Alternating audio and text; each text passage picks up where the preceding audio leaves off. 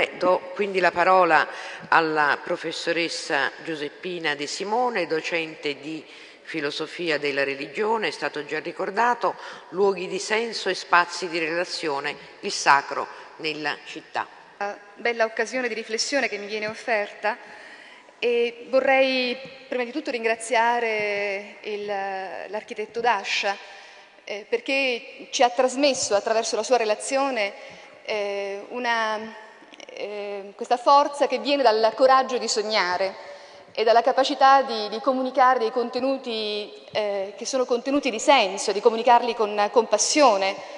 e che poi mh, eh, assume quello, quella, quell'auspicio che eh, veniva proposto dal professore Galantino alla fine della sua relazione, no? dare risposte di senso, risposte sensate alla domanda di vita che viene dalla, dalla città. E penso che veramente questo, questo, il progettare degli spazi di nuova urbanità,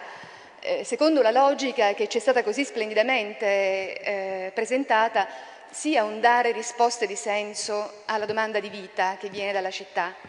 Ecco, nella relazione della, della, eh, dell'architetto Dascia si parlava di valori nei quali riconoscersi e di valori da trasferire sul piano urbano, e eh, tra questi valori c'era eh, una, un riferimento alla fine dell'elenco che veniva proposto, se vi ricordate, alla dimensione spirituale, con un punto interrogativo, quasi a chiedersi appunto qual è poi il posto dello spirituale nella vita della città, nella, nella possibilità di immaginare nuove forme di urbanità, di immaginare una città nella quale sia possibile riconoscersi nei luoghi, sia possibile appunto sanare quella frattura tra lo spazio e la socialità, Ecco, eh, potremmo dire sicuramente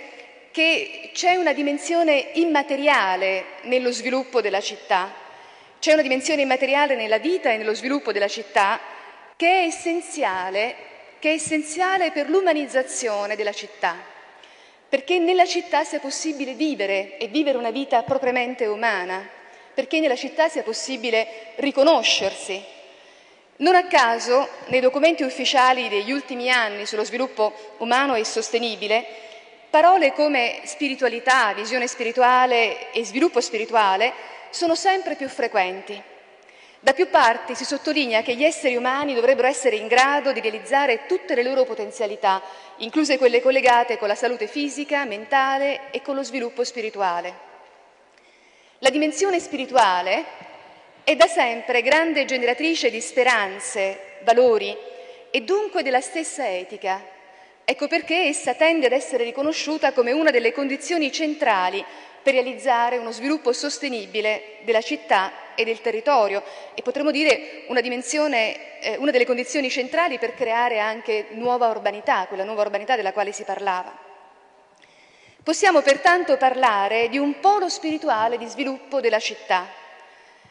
ad essa quanto mai essenziale perché la città riconosca e ritrovi la possibilità di una sua propria identità. L'identità della città è un'identità dinamica, costantemente ricostruita e rinnovata, un'identità in continuo processo di mutamento, perché la città esercita una forza centripeta capace di attirare tutti, anche il diverso, lo sconosciuto, lo straniero, la città è chiamata a tenere sempre aperte le sue porte, ad accogliere l'altro, sconosciuto e inatteso. La città ha di per sé una vocazione alla pluralità e alla complessità. Oggi più che mai essa è sollecitata ad aprirsi al mondo, a non attaccarsi ai suoi confini, che sono tra l'altro sempre meno definiti e definibili, ma a vivere di relazioni sempre più ampie, lasciando che nella particolarità del proprio territorio si respiri il senso dell'universale,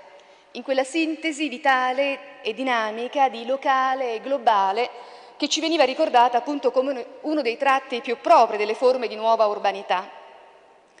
Ma perché la città viva questa che Enzo Bianchi chiama l'arte dell'apertura, arte dell'apertura, perché abbia la capacità di integrare in sé il nuovo e il diverso,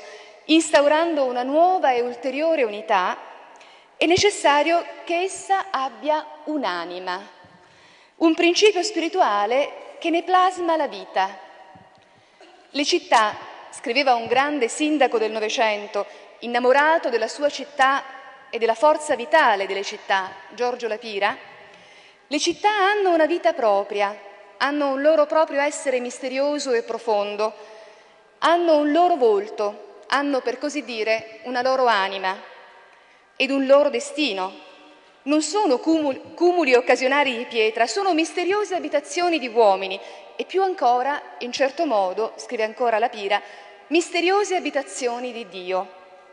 Ogni città possiede una personalità, ha una vocazione particolare, una luce e una bellezza destinata ad illuminare le strutture essenziali della storia e della civiltà dell'avvenire. Ogni città, potremmo dire su questa stessa linea, ha una musicalità sua propria, una disarmonica armonia di suoni, di voci, di storie, dalla misteriosa quanto realissima e sempre nuova composizione. Ogni città ha un sentire suo proprio.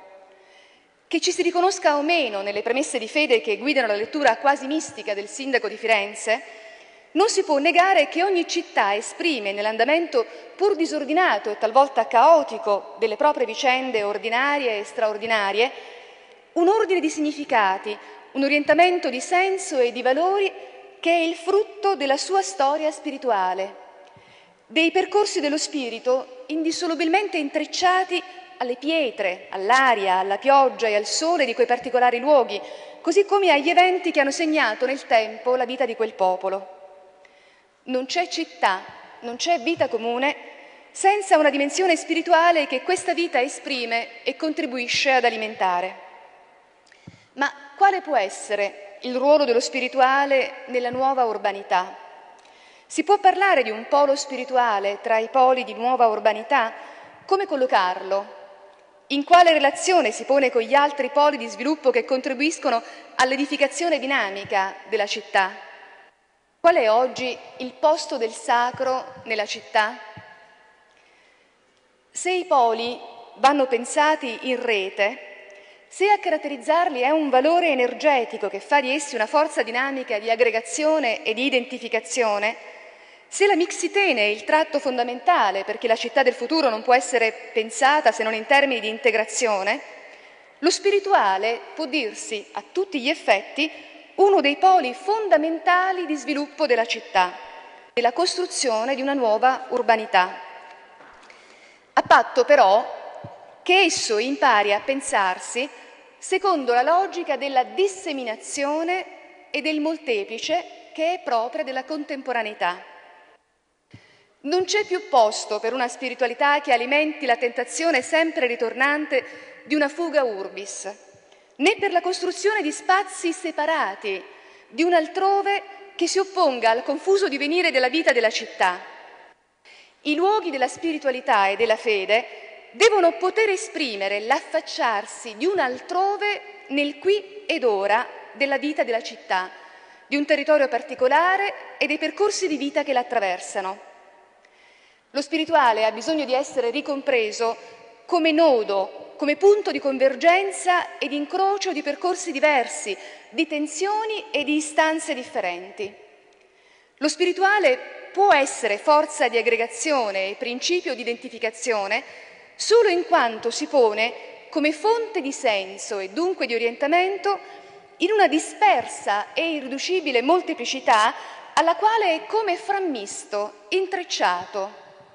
non più dunque spazi e strutture dai confini netti, ma spazi aperti, permeabili, luoghi di senso e di relazione.